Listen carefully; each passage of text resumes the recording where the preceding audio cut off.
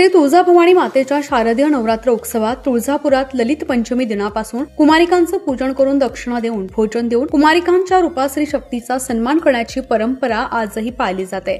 त्याचा प्रारंभ गुरुवारी एकोणतीसपासून झाला. श्री तुळजाभवानी मातेच्या शारदीय नवरात्र उत्सवात ललित पंचमी ते अष्टमी कालावधीत कुमारिकांचं पूजन करून त्यांना भोजन देऊन श्री शक्तीचा सन्मान करण्याची परंपरा अजूनही आहे. येथील पुजारी वृंदांचा घरात धार्मिक विधिरूपात पाली जाते. यात प्रथम नऊ सात पाच कुमारिकांचं पूजन केलं जातं. नंतर दक्षिणा देऊन पुरणपोळीचं भोजन देऊन सहकुटुंब कुमारिकांचरणी नतमस्तक होऊन पाया पडून तिचा सन्मान केला जातो. ही परंपरा अनादी कालापासून आजही बावीसाव्या शतकात पाळली जाते.